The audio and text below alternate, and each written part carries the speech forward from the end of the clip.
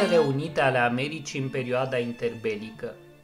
Politicile americane după primul război mondial au fost prefațate de rezultatele alegerilor parlamentare din anul 1918. În cadrul acestui scrutin electoral, președintele Woodrow Wilson le-a cerut votanților să aleagă un congres democrat. Citez, dacă aprobați conducerea mea și doriți să continui a fi purtătorul de cuvânt în țară și în străinătate. Încheia citatul.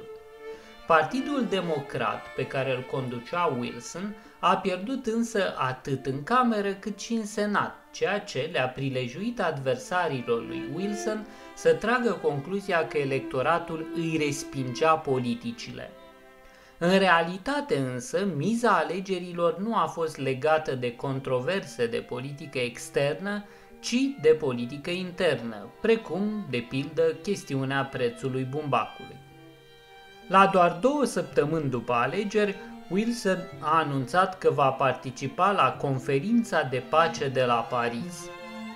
Aceasta reprezenta o ruptură serioasă a tradițiilor care a alimentat criticile republicanilor.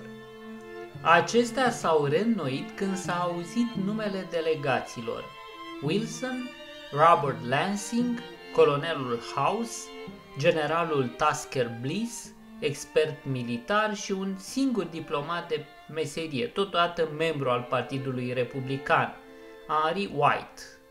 Refractar delegării puterilor și criticii, Wilson a omis includerea în delegația lui Henry Cabot Lodge, senator republican de Massachusetts, care se opusese celor 14 puncte și va deveni președintele Comitetului pentru Relații Externe al Senatului, dar nu l-a avut în vedere nici pe Eliu Root sau pe fostul președinte Taft, ambii internaționaliști entuziaști. Wilson a fost primit excelent în Anglia, Franța și Italia. Pe Champs-Élysées, două milioane de oameni au făcut o primire fastuoasă președintelui american. Aceasta l-a determinat pe Wilson să aibă și mai multă încredere că viziunile sale erau împărtășite și de opinia publică europeană. Cu toate acestea, președintele american a observat curând că era nevoie să facă o serie de concesii de la ideile sale, vizând autodeterminarea națională, reducerea tensiunilor internaționale și formarea Ligii Națiunilor. Astfel s-au creat noi națiuni independente, precum Ceoslovacia și Polonia, care conțineau un grup etnic german numeros, parțial violând principiul națiunilor. S-au împărțit coloniile germane din Asia și Africa. În locul unei păci fără victorioși și înfrânți, Germania a fost obligată să accepte responsabilitatea războiului și și s-au cerut reparații imense. Nu s-a făcut nicio mențiune la dezarmare, comerț liber sau libertatea mărilor. În locul negocierilor la vedere s-au purtat discuții în spatele ușilor închise. Wilson a reușit însă să elimine câteva dintre dorințele cele mai radicale ale aliaților săi și să-și impună unele dintre intențiile sale politice. În februarie 1919, când s-a întors în America, 33 de guvernatori încă îl sprijineau, iar majoritatea populației susținea Liga Națiunilor. Exista însă o puternică opoziție care se manifesta în Congres. La data de 5 martie, senatorul Lodge prezenta un document semnat de 37 de senatori ce specifica că semnatarii nu vor vota pactul fără amendamente. Treptat, în cadrul Senatului s-au constituit mai multe grupări care se împotriveau Ligii Națiunilor. De altfel, din cei 96 de senatori, 49 erau republicani. Dintre aceștia se cuvin menționați 14 republicani conduși de William Borach din Idaho, care erau ireconciliabil opuși ligii. Borach declara, citez, Dacă mântuitorul omului va reveni pe pământ și se va declara pentru o Liga Națiunilor, eu mă voi opune acestuia. Frank Kellogg din Minnesota conducea un grup de 20 de senatori rezervați într-o oarecare măsură, care acceptau pactul Ligii Națiunilor, dar doreau introducerea câtorva modificări care nu l-ar fi slăbit în chip esențial. Lodge conducea gruparea celor care manifestau o rezervă considerabilă și care cuprindea 23 de senatori. Patru senatori democrați se opuneau pactului. Confruntat cu acești opozanți, Wilson a decis să nu încerce un compromis care era foarte posibil atunci, ci să facă apel la populație în sprijinul ideilor sale. La începutul lunii septembrie, acesta a traversat vestul mijlociu, fără a deștepta mari simpatii, dar a fost ovaționat pe coasta Pacificului, la Pueblo, Colorado, a ținut unul dintre cele mai importante discursuri ale sale, dar în aceeași noapte s-a îmbolnăvit grav, nemai fiind ulterior capabil să-și exercite conducerea la întreaga sa capacitate. Vreme de șapte luni, Wilson nu a mai convocat cabinetul. Când Lansing a făcut acest lucru, Wilson i-a solicitat demisia. La data de 6 noiembrie, Lodge a făcut un raport asupra tratatului și a cerut modificarea articolului 10, cheie a acestei convenții în opinia lui Wilson. La 19 noiembrie, această variantă a fost respinsă de Senat cu 39 de voturi pentru și 55 împotrivă, democrații, la îndemnul lui Wilson, votând împotrivă.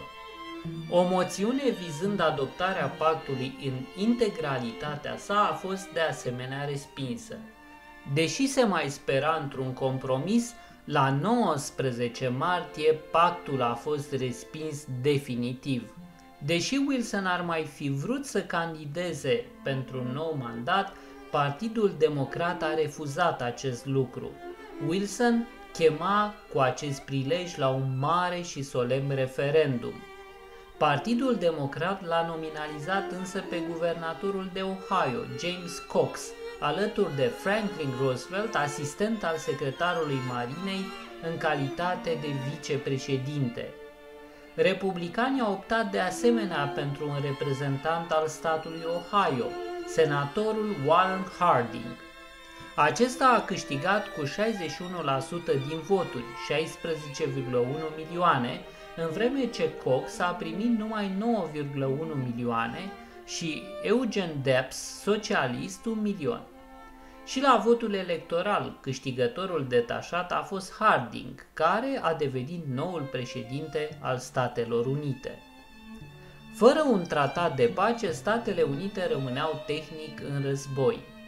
În iulie 1921, Congresul a aprobat o rezoluție ce punea capăt conflictului.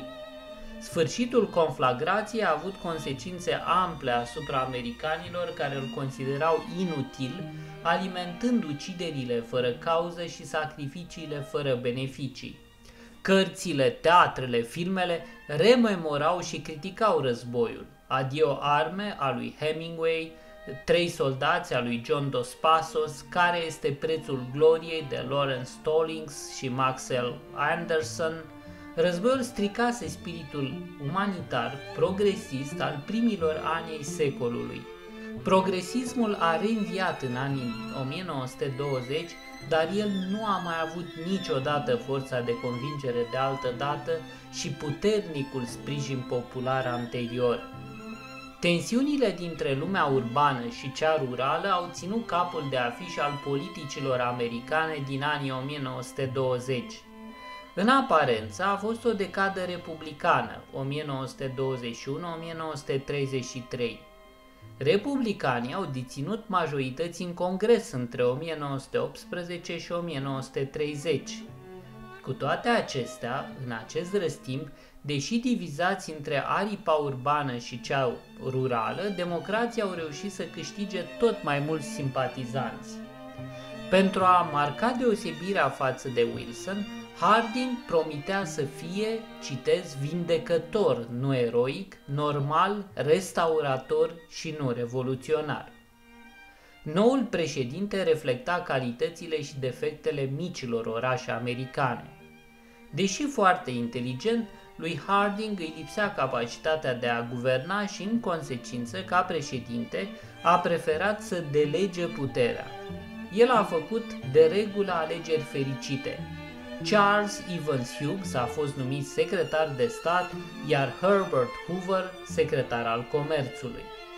Cu toate acestea, Harding a numit în funcții importante și două persoane care s-au dovedit a fi corupte. Generalul Harry Doherty și secretarul de interne Albert Fall. Primul a demisionat în urma descoperirii unor afaceri dubioase. Fall a fost de asemenea descoperit ca fiind implicat într-un business cu petrol naval pentru care primise o mită de 400.000 de dolari, echivalentul a 4 milioane de dolari în anul 2000, afacerea Tipo Dom. Chestiunea a primit o foarte importantă acoperire în presă. Între timp, în 1923 s-a stins din viață președintele Harding. Vicepreședintele Calvin Coolidge a devenit noul șef al statului cu sarcina de a regândi un concept de politică internă care să-i atragă de partea sa pe americani. Coolidge, originar din Vermont, era un om onest și integru. Fost guvernator de Massachusetts, Coolidge încuraja virtuțile antreprenoriale ale americanilor. Acesta afirma, citez, omul care construiește o fabrică construiește un templu, iar cine muncește acolo, de fapt se roagă. Coolidge a reușit să câștige și alegerile din 1924 cu 15,7 milioane de voturi, 382 de voturi la colegiul electoral, fiind urmat de democratul John Davis cu 8,3 milioane de voturi și 136 la colegiul electoral și, surprinzător, de progresistul Robert La Follette cu 4,8 milioane de voturi. Deoarece Coolidge a refuzat să mai candideze la alegerile din 1928, în locul său a fost ales candidat republican Herbert Hoover. Hoover condensa mitul american al omului autodidact. Orfan de mic, Hoover a muncit și a reușit să absolve Universitatea din Stanford. A câștigat bogăție și faimă în calitate de inginer miner. A coordonat Food Relief în timpul primului război mondial. Sobru, inteligent, capabil de un volum imens de muncă, Hoover reprezenta expresia credinței naționale în individualism și liberă inițiativă. În calitate de secretar al comerțului, ajutase firmele americane să-și extindă afacerile peste ocean. Considera guvernarea și afacerile a fi partenere, nu antagonice. Optimist, Hoover declara în 1928 că, citez, noi în America suntem mai aproape de triumful final asupra sărăciei ca oricând altcândva în istorie. La alegerile prezidențiale, Hoover a reușit să obțină o victorie clară împotriva candidatului democrat de origine mixtă irlandezo-germană, Alfred Smith, un personaj atipic, agramat, lipsit de educație, dar foarte popular, asemănător într-un fel cu președintele Trump. Hoover a obținut în aceste alegeri 21,3 milioane de voturi, iar Al Smith 15 milioane. În marile orașe, Al Smith a fost însă câștigătorul. Termenul de normalitate, lansat de Harding în 1920, a devenit tema favorită a republicanilor în deceniul al treilea. Convinși că americanii erau sătui de președinți reformatori precum Theodore Roosevelt și Woodrow Wilson, Harding și succesorii săi s-au întors la politicile tradiționale republicane.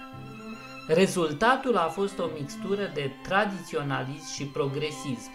S-au ridicat taxele vamale asupra importurilor, prin noul buget adoptat în 1921, cheltuielile guvernamentale au fost reduse de la 18 miliarde la 3 miliarde până în 1925, taxa pe venit a fost fixată la 20%. Astfel, la sfârșitul anilor 20, guvernul percepea cu o treime mai puține taxe decât în 1921. În decembrie 1917, Congresul a adoptat cel de-al 18-lea amendament care interzicea fabricarea și vânzarea băuturilor alcoolice. Peste un an, statul Nebraska a ratificat amendamentul care a devenit astfel lege. Așa cum s-a implementat prin Volstead Act de la 16 ianuarie 1920, a devenit prohibită fabricarea, vânzarea și transportul oricărei băuturi care conținea mai mult de 1% alcool. Prohibiția a fost rezultatul eforturilor întreprinse în lumea rurală de Liga împotriva cârciumilor, susținută de baptiști și de metodiști, dar și a noului progresism urban care sublinia implicațiile sociale dezastruoase ale consumului de alcool, mai ales în rândurile muncitorilor din centrele urbane. Odată adoptată, dificultatea consta în implementarea acesteia în condițiile în care marile orașe rezidau numeroase grupuri etnice, precum germanii și irlandezii, opuși aplicării acesteia. Măsura nu a prohibit total consumul de alcool, dar l-a micșorat.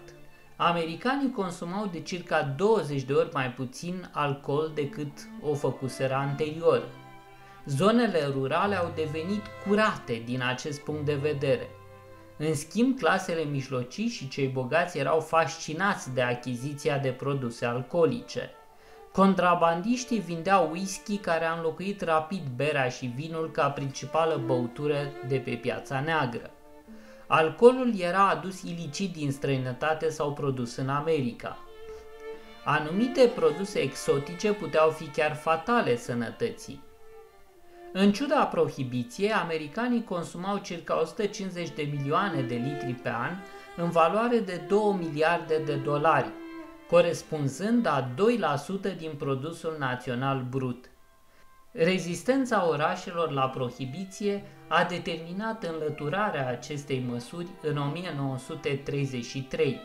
Între timp, mulți americani s-au obișnuit să nu mai respecte legile. În orașe, poliția tolera vizibil traficul cu băutură, iar judecătorii au creat un sistem de licențe dând amenzi simbolice. Aceasta a fost epoca lui Al Capone, celebrul mafiot din Chicago. Cea mai amenințătoare expresie a protestului împotriva noii culturi urbane din perioada interbelică a luat forma Ku Klux Klanului. Noaptea, la data când se sărbătorea ziua recunoștinței în 1915, munții stâncoși din statul Georgia, colonelul William Simons și 34 dintre adepții săi au fondat această organizație. La Imperiul Invizibil al Cavalerilor din Ku Klux Klan, li se permitea să adere numai americanilor nativi, albi, protestanți, naționaliști. Numărul membrilor acestuia a crescut lent în perioada războiului, dar mult mai rapid după 1920 din cauza temerilor postbelice și a propagandei subtile făcute de membrii acestuia. O popularitate deosebită a câștigat în sud și vest, mai ales în sate și orașe mai mici, dar și în unele dintre orașele mai mari. Aceasta demonstra anxietatea oamenilor cu privire la o societate în rapidă schimbare. Anxietate care se exprima prin îmbrățișarea unor ritualuri ciudate, dar și prin ura arătată negrilor, străinilor, evreilor și catolicilor. De altfel, Clanul anilor 1920, spre deosebire de călăreții negri de după războiul civil, nu acționa numai împotriva negrilor. Amenințarea la adresa culturii americane, așa cum o percepeau membrii clanului, venea de la străini în general. Italieni și ruși, evrei și catolici, imigranți vorbind limbi străine, rugându-se în biserici ciudate, locuind în orașe îndepărtate, amenințătoare. Acestora li se atribuiau tensiunile din societate. Oamenii clanului îi pedepseau pe negri care nu-și cunoșteau locul în societate, pe femeile care practicau noua moralitate, pe străinii care refuzau să se conformeze normelor americane. Bătaia, ciomăgeala, arderea cu acid, chiar crima erau mijloacele de combatere a adversarilor. Au fost de asemenea elaborate coduri de comportament în societate.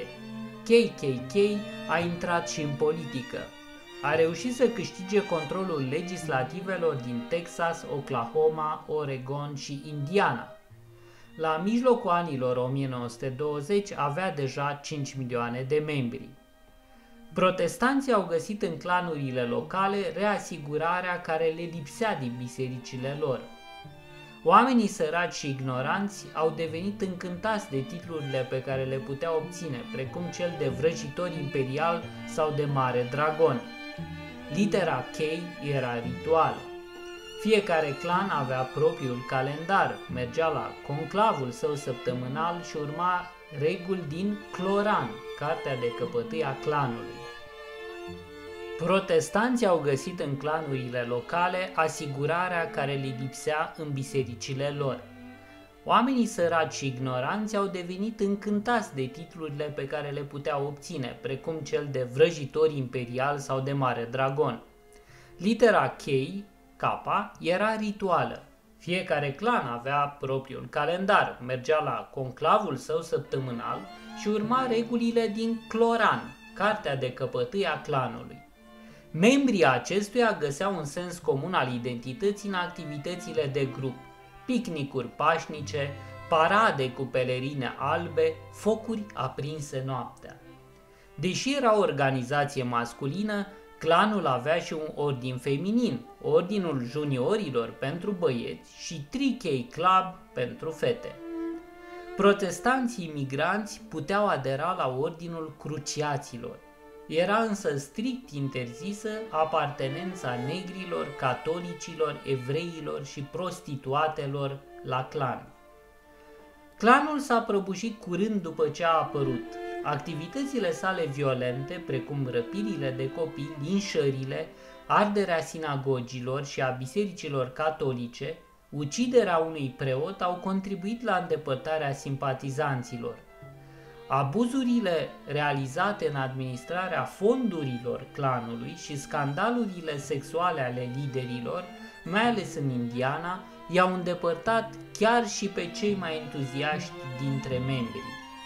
Politicienii au criticat și ei activitatea clanului. La sfârșitul anilor 1920, acesta își încheiase practic activitatea. În perioada interbelică, mulți americani ajunseseră să vorbească despre hoardele barbare care se revărsau asupra Americii. Până în 1914, circa un milion de imigranți soseau în Statele Unite în fiecare an.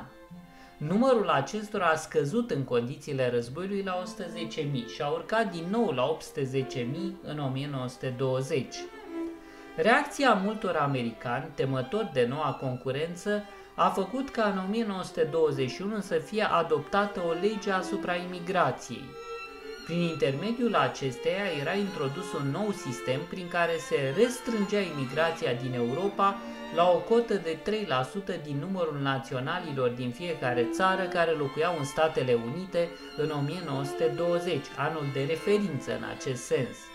Noua lege a permis totuși ca peste 500.000 de europeni să vină legal în Statele Unite în anul 1923, aproape jumătate dintre aceștia proveniți din estul și sud-estul Europei. Aceasta îi va alarma pe mulți americani. Scriitorul Madison Grant afirmându-și temerea că Statele Unite vor primi gene inferioare care nu adoptă religia americană și care nu înțeleg idealurile acesteia. În 1924, Congresul a adoptat actul asupra cotei după originea națională. Prin această lege au fost alocate Europei circa 150.000 de locuri de imigranți, cele mai multe fiind atribuite celor provenind din Marea Britanie, Irlanda, Germania și Scandinavia. Era interzisă imigrația din Orient. Această măsură legislativă a trecut prin Congres cu un puternic sprijin rural. Nici marile corporații nu au protestat. Mașina începea să-l înlocuiască pe om în procesul de producție. Totuși, mulți mexicani continuau să treacă Rio Grande pentru a completa nevoia continuă de muncitori necalificați, un număr de circa 100.000 pe an. Orașul a înlocuit satul ca punct focal al vieții americane în anii 1920. Recensământul din acest an a relevat că pentru prima dată mai mult de jumătate din populație locuia în orașe, adică așezări cu peste 2500 de locuitori. Ariile metropolitane au crescut rapid, albii și negrii din zonele rurale așezându-se la oraș pentru a lucra în noile industrii de consum. Între 1920 și 1930, așadar în deceniul al treilea, orașele cu o populație de peste 250.000 de locuitori au adăugat alte 8 milioane de locuitori în suburbiile acestora. Populația New Yorkului a crescut cu 25%, iar Detroitul și-a dublat numărul de locuitori. Așa cum observa un observator francez, citez, zgârie norii din New York sunt cea mai frapantă manifestare a triumfului numărului. Am încheiat citatul. Dată fiind explozia prețurilor pământului, constructorii s-au orientat spre construcția pe verticală, creând un stil american arhitectonic distinct. New Yorkul a dat tonul cu înfloritoarea construcție Woolworth din 1913. În 1930 a fost construită cea mai înaltă construcție din lume, așa cum va rămâne pentru mulți ani, Empire State Building, care avea 102 etaje. În 1929 erau deja 377 de clădiri cu peste 20 de etaje. Zgârie norii simbolizau noua cultură urbană. În metropole, viața era diferită față de orașele mai mici sau mediul rural. Legătura vechii comunități cu casa, biserica, școala era pierdută, dar se puseseră bazele unor noi idealuri, unei noi creativități, unor noi perspective. În anul 1908, Henry Ford a creat modelul T, marcând astfel primul pas înspre producția de masă și începutul supremației industriale americane. În ajunul primului război mondial, Ford a început să cumpere teren de-a lungul Roach River, la sud-est de Detroit, Michigan. Citez, totul trebuie să se miște, afirma Ford la mijlocul anilor 1920. Ford a început să-și realizeze noua filozofie începând cu anul 1919. Materia primă era transformată în tractor în numai 28 de ore, apoi și mai repede. În 1926 se aflau în execuție 43.000 de mașini. Vizitatorii observau o mare congestionare a fabricii, dar experții realizau imediat că treaba mergea și totuși oamenii stau. În mai 1927, după ce produsese peste 15 milioane de mașini din modelul TS, Ford a trecut lângă River Rouge la realizarea modelului A, care a intrat pe liniile de producție în noiembrie. Aceasta îl va determina pe istoricul Geoffrey Parrott să exclame, citez, Ford a strâns alături totul într-un singur loc și pe o scară la care nimeni nu a mai ajuns vreodată. Uzina Rouge a devenit pentru o generație de ingineri mai mult decât o fabrică. A fost un monument. Linia de asamblare Ford presupunea uniformitate, viteză, precizie și coordonare. Transforma muncitorii în rotițe ale unui imens ansamblu adevărați roboți. Erau înlăturate ultimele vestigii ale măestriei. Aceasta a fost copiată și de alte întreprinderi. Rezultatul erau profituri mari pentru fabricanți și prețuri mici pentru cumpărători. La mijlocul anilor 1920, costul modelului T a scăzut de la 950 de dolari la doar 290 de dolari. Producția de automobile americane a crescut de la 2 milioane de unități la 5 milioane de unități pe an în 1929. Producția de masă a determinat o revoluție a bunurilor de consum. Fabricile americane se întreceau în realizarea de automobile și aparate electrice care trebuiau să facă viața americanilor mult mai confortabilă. Rezultatul a fost conturarea unei noi Americi în care individualismul a fost sacrificat conformismului ca preț plătit pentru o nouă eră a abundenței. Prima era a abundenței a catapultat la sfârșitul secolului al XIX-lea Statele Unite în rândul celor mai bogate și mai dezvoltate națiuni.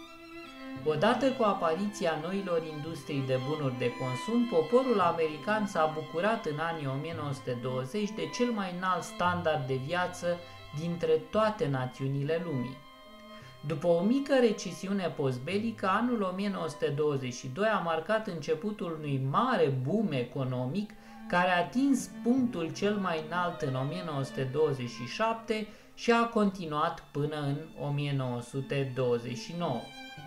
În această scurtă perioadă, volumul industriei americane aproape că s-a dublat, iar produsul național brut a crescut cu 40%. Cel mai mare spor s-a înregistrat în industriile producătoare de bunuri de consum, automobile, mobilă, aparate electrocasnice, textile. Venitul pe cap de locuitor a crescut cu 30%. Muncitorii americani au devenit cel mai bine plătiți din lume și au avut uh, astfel capacitatea să achiziționeze noile produse. Industria electrică a cunoscut și ea un spor considerabil. Numai puțin de două treimi din americani se bucurau de electricitate, cheltuind sume consistente de bani pentru mașini de spălat, frigidere și alte aparate casnice. Aparatele de radio și industria cinematografică centrată la Hollywood au cunoscut o deosebită amploare. În anul 1929, NBC a realizat prima rețea radiofonică. Cinematografele au sporit considerabil, ajungând până la 4.000 de locuri. 100 de milioane de americani frecventau săptămânal cinematografele. Corporațiile au continuat să domine economia americană. Acestea aveau sute de mii de acționari și obțineau profituri uriașe. Aceasta a determinat creșterea și expansiunea internă, eliberând corporațiile de sub tutela băncilor. 200 de mari corporații dețineau în 1928 50% din bogăția corporativă a Statelor Unite. Cu toate acestea, noua eră a avut slăbiciunile sale. Agricultura a fost subfinanțată. Căile ferate au avut parte de un management de slabă calitate – Industria de cărbun și cea textilă au intrat în declin. Salariul din industrie a crescut prea lent, cu circa 11%, pentru a putea oferi mai multor muncitori posibilitatea de a achiziționa noile produse americane. Organizațiile sindicale au fost prea slabe pentru a sprijini muncitorii numărul sindicaliștilor a scăzut de la 5 milioane la 3 milioane în 1929. Astfel, distribuirea inegală a bogăției, saturarea pieței de bunuri de consum, creșterea speculațiilor bursiere au generat instabilitate economică. Efectele cele mai dramatice s-au înregistrat în sectorul social, Falimentul a numeroase întreprinderi și restrângerea capacităților productive au determinat o creștere spectaculoasă a numărului de șomeri. În martie 1933, numărul acestora era de 17 milioane. Cei care n-au fost concediați au suportat reducerea ale salariilor situate între 30 și 40%. Conform unor aprecieri, 34 de milioane de americani, ceea ce însemna 28% din populația Statelor Unite, nu aveau niciun fel de venit. Numeroase școli s-au închis, iar numărul celor care s-au înscris la cursurile învățământului superior a scăzut cu o treime. Președintele Hoover a organizat în cursul lunii noiembrie 1929 conferințe cu mari proprietari din industrie, cărora le-a solicitat să nu mai reducă salariile, promisiune respectată până în anul 1932. Administrația a luat măsuri de diminuare a impozitelor, au crescut cheltuielile guvernamentale. Ca parte a unui program de intervenție a statului a fost creată Corporația Financiară de Reconstrucție, RFC, prin intermediul căreia s-au dirijat banii federali spre economie. În anul 1932, capitalul RFC era de 3,8 miliarde de dolari. S-au deschis importante șantiere publice. Criza a provocat în plan politic unele manifestări ale extremismului, apărând mai mulți demagogi, cum a fost Long, guvernatorul Louisianei, Smith, conducătorul cămășilor khaki, modelată după fascismul lui Mussolini, și Pelei, conducătorul cămășilor argintii. Măsurile intervenționiste au prelungit însă criza. Faza finală a venit când politica protecționistă a Statelor Unite s-a întors împotriva acestora. Tariful Smoot-Hawley a mărit taxele de import, ceea ce a provocat criza sistemului bancar în unele state din Europa. S-a pierdut încrederea în dolari, iar sistemul bancar american a ajuns într-un adevărat impas. Anul 1932 a fost un an electoral. Convenția Partidului Republican i-a acordat președintelui Hoover șansa de a câștiga pentru un nou mandat. Partidul Democrat s-a orientat la convenția din vara anului 1932 asupra lui Franklin Delano Roosevelt, guvernator al statului New York. Acesta se dovedise un administrator activ, luptător pentru diminuarea efectelor crizei în plan social prin programe de ajutorare a șomerilor. În discursul de acceptare rostit în fața delegaților la Convenția Partidului, desfășurată la 2 iulie 1932, Roosevelt i-a asigurat pe cei prezenți că va înfăptui programul democrat, anunțând că va promova o nouă orientare politică pe care a denumit-o New Deal. Americanii au fost de acord să realizeze o nouă împărțire a cărților, o nouă ordine a competenței și curajului. Sintagma s-a impus și a definit programul de reforme inițiat de Franklin Delano Roosevelt. În perioada campaniei electorale, acesta a pledat pentru intervenția statului în economie, pentru ajutorarea americanului de rând și recâștigarea încrederii în instituțiile Statelor Unite. Nemulțumiți de efectele crizei, de politica președintelui Hoover, influențat și de critica făcută administrației republicane de democrați, 22,8 milioane de alegători au votat pentru Roosevelt. Candidatul Partidului Republican a primit doar 15,7 milioane de voturi. Majoritatea în cadrul Congresului a revenit de asemenea democraților. În ziua prelorii mandatului, la 4 martie 1933, președintele Roosevelt s-a adresat țării cu un mesaj de încredere, citez, Această mare națiune va supraviețui cum a supraviețuit întotdeauna, va renaște și va regăsi prosperitatea. Astfel, înainte de toate, permiteți-mi să-mi exprim certitudinea fermă că unicul lucru de care noi trebuie să ne temem este teama însăși. Președintele a inițiat în perioada primelor 100 de zile, 9 martie-16 iunie, o bogată activitate legislativă. Congresul a lucrat intens și a adoptat mai multe acte normative decât o făcuse în perioada mandatului președintelui Hoover. Anumite acte normative au fost realizate și aprobate într-o singură zi. Noile pachete de legi au modificat radical obiceiurile, tradițiile și structurile societății, economiei și politicii americane.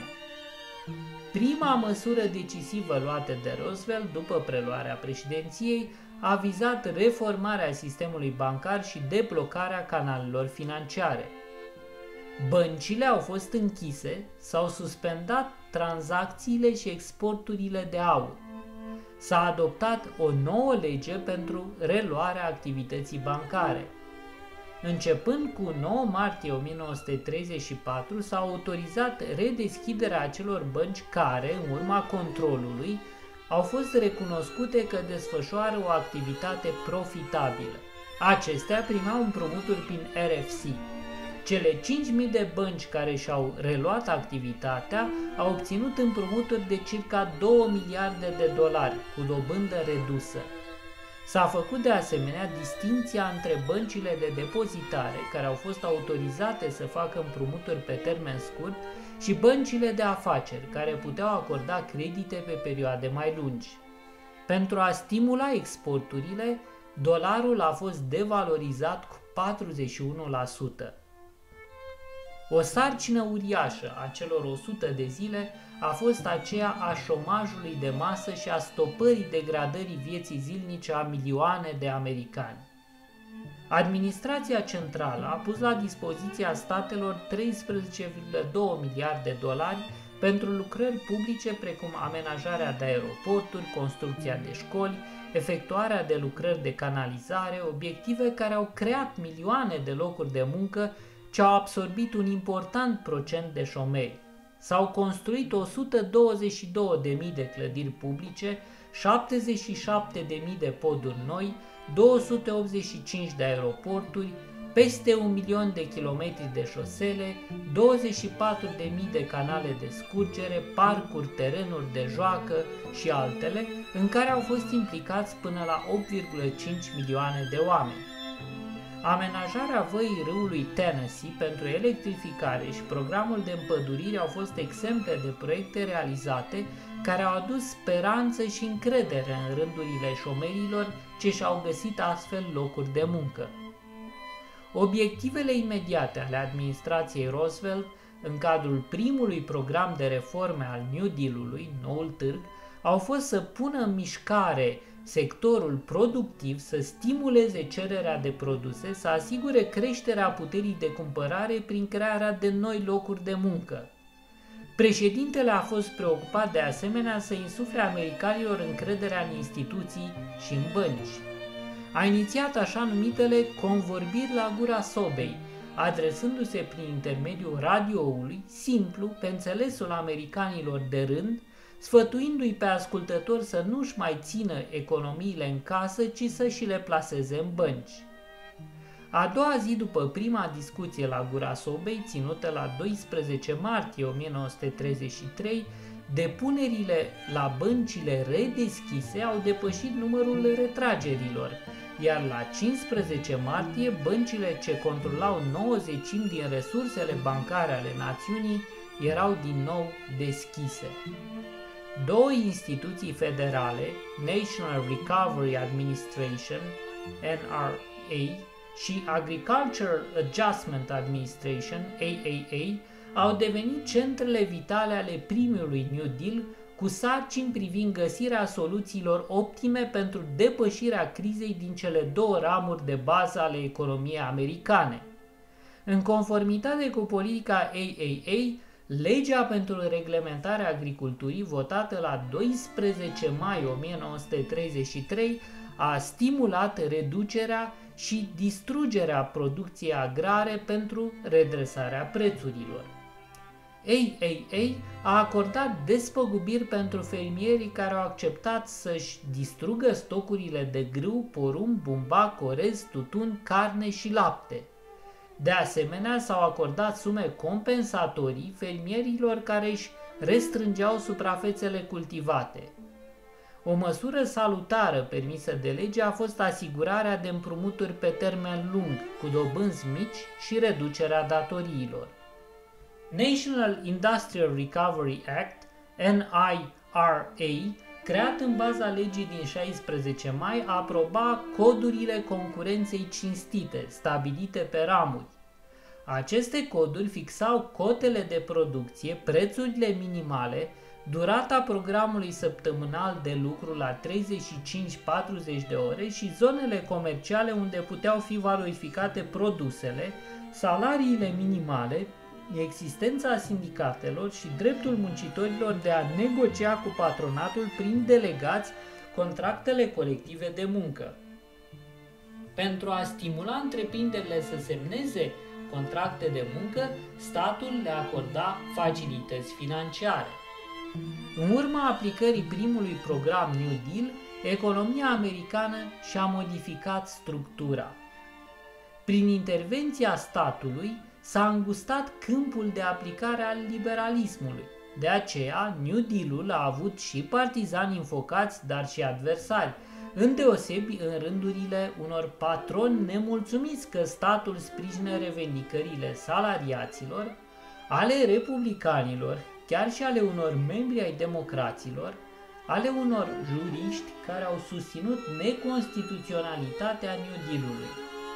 În mai 1935 și ianuarie 1936, Curtea Supremă de Justiție a declarat neconstituționale NIRA, respectiv AAA, instituțiile respective fiind lichidate. În mesajul anual către Congres, ținut la 4 ianuarie 1935, Roosevelt a lansat al doilea New Deal, care a vizat în principal obiective sociale – o folosire mai judicioasă a resurselor pentru asigurarea mijloacelor de trai, îmbunătățirea sistemului de asigurări sociale pentru șomaj, bătrânețe, boală și invaliditate, realizarea unui program de construcții de locuințe.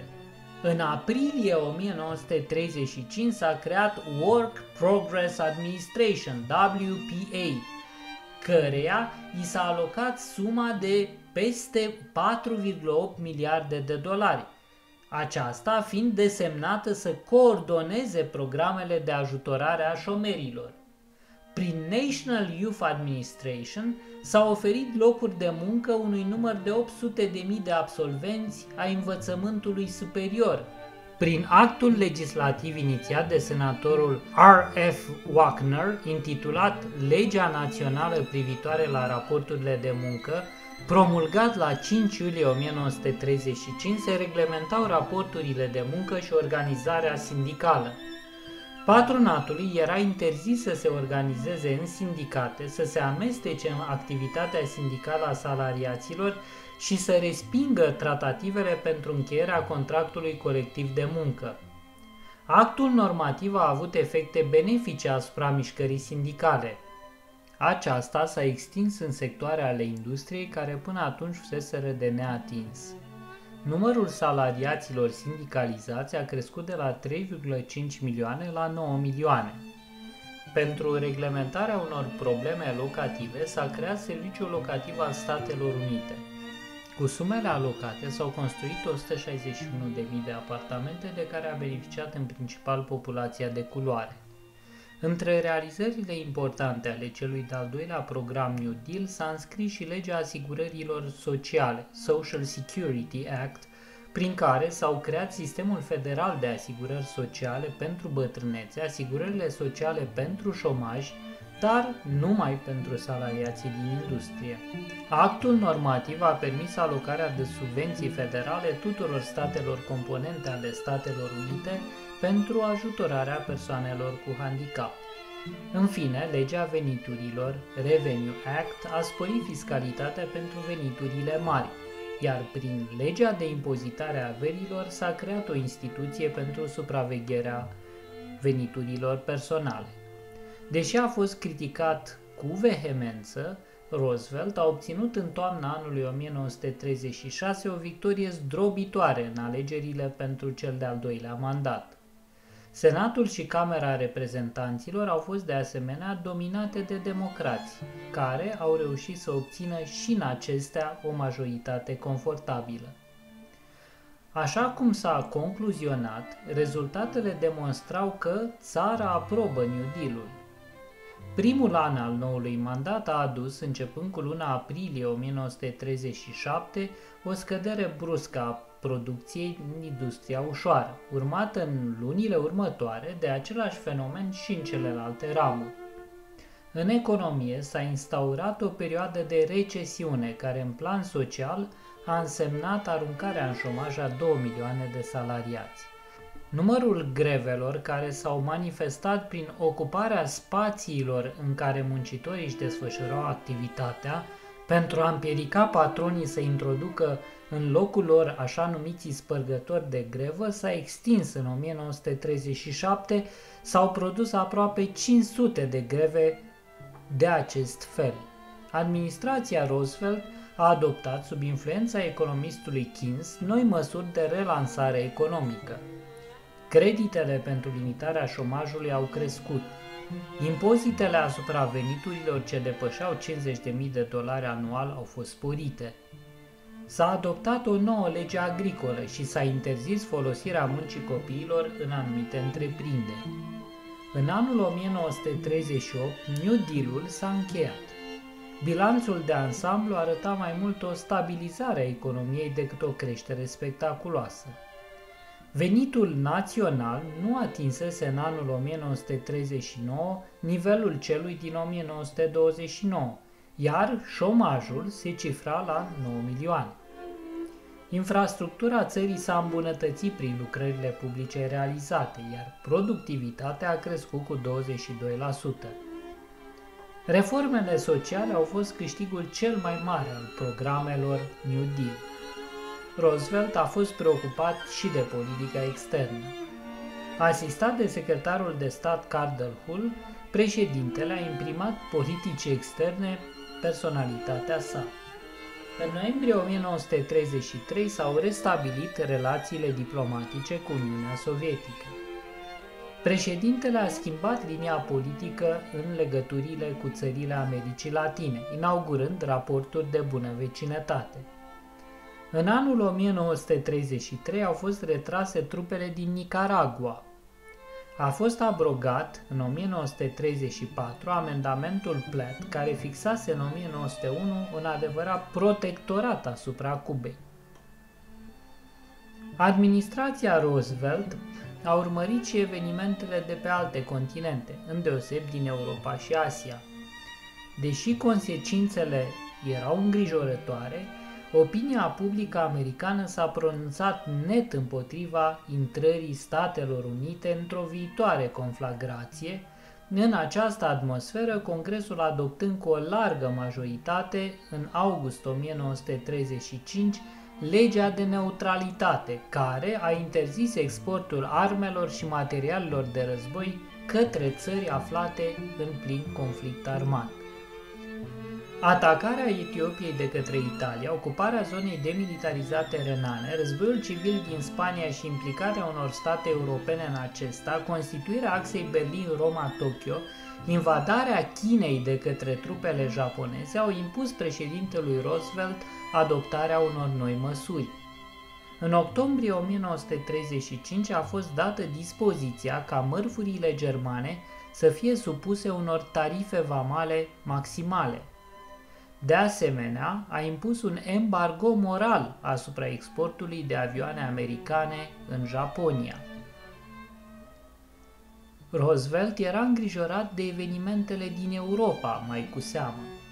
Într-un discurs rostit la Chicago la 5 octombrie 1937, președintele le-a spus răspicat americanilor că, citez, politica de izolare sau neutralitate nu este o salvare, am încheiat citatul.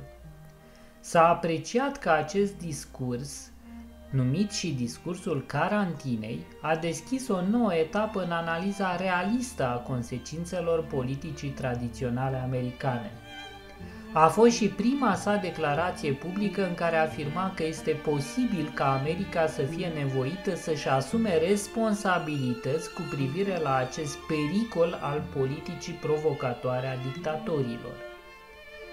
După alegerile din anul 1938 pentru cel de-al 76-lea congres, administrația Roosevelt a orientat politica externă a SUA pe linia respingerii energice și hotărâte a agresiunii statelor fasciste. Acordul de la München a fost un moment important, un punct de cotitură care l-a obligat pe Roosevelt să alinieze America democrațiilor europene, la început doar politic, însă treptat și practic. La 14 aprilie 1939, președintele Statelor Unite a cerut Germaniei și Italiei să dea asigurări că nu vor ataca 31 de state din Europa și Asia. A fost o manevră diplomatică subtilă, întrucât, deși Hitler a luat în derâdere nota lui Roosevelt, cei doi dictatori au putut fi declarați drept agresori. În luna aprilie 1939, Statele Unite și Marea Britanie au încheiat un acord de cooperare militară. Marina britanică putea să-și concentreze în aceste condiții toate forțele în Atlantic, iar Statele Unite în Pacific. Izbucnirea războiului în Europa a impus președintelui Roosevelt luarea unei poziții publice și aceasta a făcut-o într-o cuvântare rostită la radio la data de 3 septembrie 1939. Roosevelt s-a pronunțat cu convingere pentru ca Statele Unite să rămână neutre, angajându-se să depună toate eforturile pentru realizarea acestui obiectiv, dând astfel satisfacție majorității opiniei publice americane. În același timp, a acționat cu rapiditate pentru modificarea legii neutralității. La 4 noiembrie 1939, așa numita a patra lege a neutralității, autoriza exportul de armament al producătorilor americani cu condiția ca beneficiarii să plătească în numerar și să asigure transportul cu nave proprii sau închiriate, cash and carry. Amendament ce a permis, datorită blocadei marinei britanice, doar Marii Britanii și Franței să se aprovizioneze din Statele Unite. Pe linia sprijinirii Marii Britanii și a întăririi apărării Statelor Unite, în septembrie 1940, președintele a aprobat cedarea a 50 de distrugătoare vechi pentru care britanicii au acordat americanilor dreptul de a utiliza 8 din posesiunile lor din Atlantic pentru crearea de baze americane. După prăbușirea Franței la 10 iunie 1940, Statele Unite s-au angajat prin vocea președintelui să sprijine orice țară care se opunea Germaniei.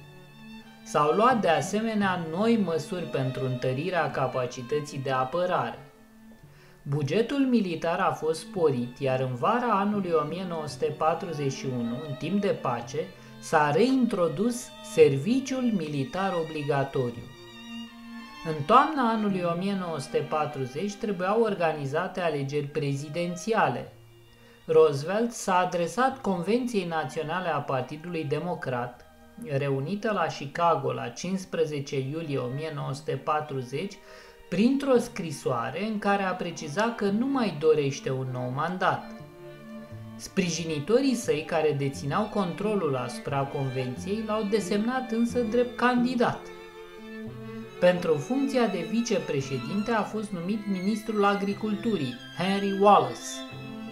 Convenția Partidului Republican l-a nominalizat pe Wendell Willkie la fotoliul de președinte, Programele electorale au fost destul de apropiate. Ambii candidați se angajau să ajute Marea Britanie, dar să mențină Statele Unite neutre. Pentru prima dată în istoria SUA, un președinte a obținut al treilea mandat la Casa Albă, cu 55% din voturile populare și 84% din cele ale electorilor. Democrații și-au păstrat majoritatea și în cel de-al 77-lea congres. După noua victorie în alegeri, administrația a eliminat cea de-a patra lege a neutralității, un nou act normativ, legea de împrumut și închirierea armamentului, Land and Lease Act, dădea președintului autoritatea discreționară de a împrumuta, a concesiona a vinde sau a da în schimb în orice condiții consideră el că este potrivit orice material defensiv guvernului oricărei țări era considerată de președinte vitală pentru apărarea Statelor Unite. Încheind un acord cu ministrul Danemarcei la Washington, trupele americane au ocupat Groenlanda, iar trei luni mai târziu Islanda. Acestor înțelegeri le-a urmat decizia ca navele americane să patruleze la vest de Islanda, iar trupele britanice din această insulă să fie retrase. După atacarea Uniunii Sovietice, Statele Unite au înființat o secție specială pentru aplicarea legii de împrumut și închiriere, președintele Roosevelt acceptând ca o delegație sovietică să vină la Washington pentru aplicarea acestui acord. Au fost deblocate depozitele Uniunii Sovietice din Statele Unite care se ridicau la 40 de milioane de dolari, embargoul asupra materialului de război nu se mai aplica sovieticilor. La 21 iulie, din ordinul președintelui, au fost expediate mari cantități de mașini unelte către Uniunea Sovietică. Preocupat de asigurarea securității Atlanticului și de colaborarea cu RSS, Harry Hopkins, consilierul principal al președintelui, investit cu aplicarea legii de împrumut și închiriere, a fost trimis într-o misiune la Londra și Moscova. La 24 iulie 1941, Hopkins a avut în capitala Marii Britanii discuții cu președintele Winston Churchill și cu șefii de state majore ai armatei britanice. S-au analizat probleme legate de ajutorul acordat Marii Britanii, situația militară de pe teatrele de operațiuni, Hopkins a transmis premierului Churchill invitația de a se întâlni cu Roosevelt la 9 august 1941 la baza militară Argentia din arhipelagul Newfoundland. Premierul britanic a acceptat atât data cât și locul. La Moscova, Consiliul American a avut două întâlniri cu Stalin, la 30 și 31 iulie 1941. În cadrul primei întâlniri s-au analizat cererile sovietice de tehnică de război, constând în tuburi antiaeriene, tunuri de mare calibru pentru apărarea orașelor, puști, avioane, benzină și aluminiu.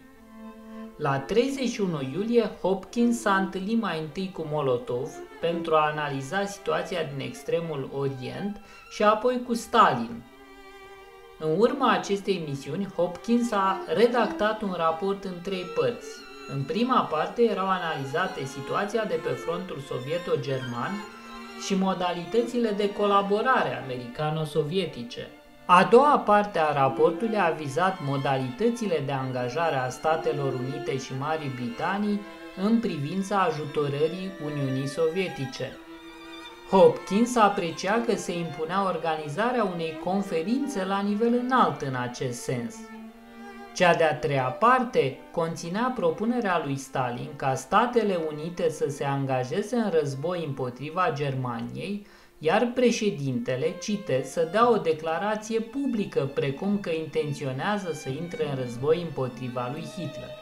La 9 august 1941, președintele Roosevelt și premierul Churchill s-au întâlnit la bordul crucișătorului Augusta.